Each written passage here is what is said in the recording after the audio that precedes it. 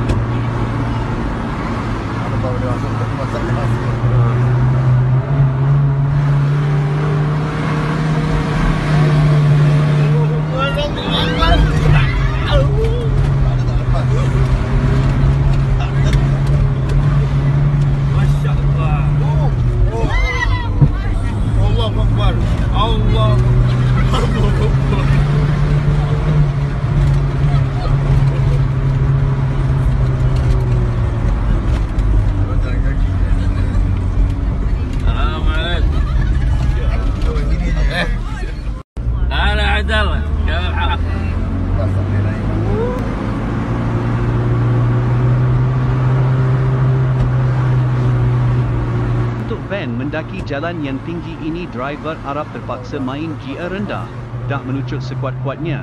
Ini betul corner baring. Kami di dalam van terpekik-pekik. Punyalah seram. Allah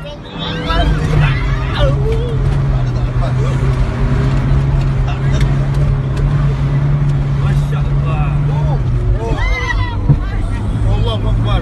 Allah Akbar.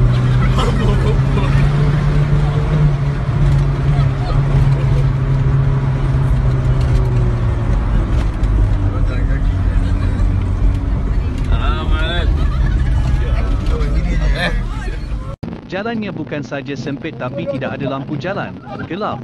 Yang buat terang adalah lampu dari rumah-rumah kedai di lereng bukit. Van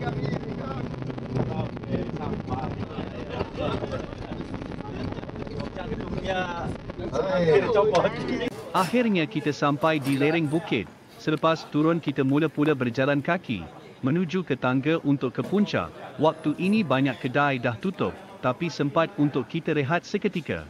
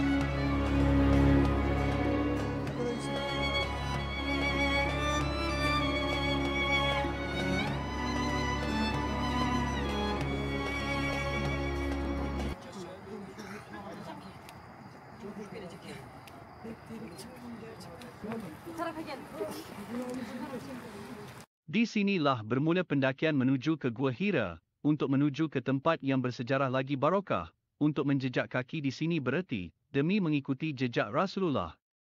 Fahaman ini sangatlah berharga.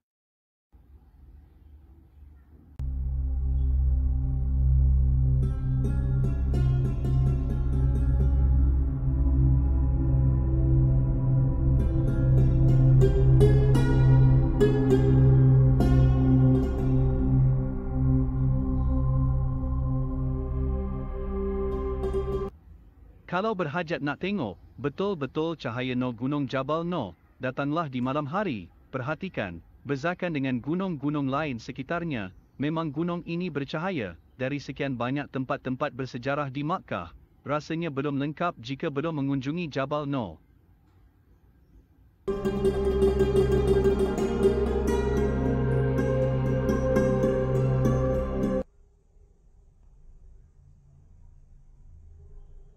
Kita dapat lihat jalannya yang miring, yang cukup tajam, kita harus berhati-hati. Berjalan seperti menjunam, dengan kemiringan jalan tentu lebih melelahkan dibanding berjalan di tanah rata. Kita dapat lihat jalannya yang miring, yang cukup tajam, kita harus berhati-hati.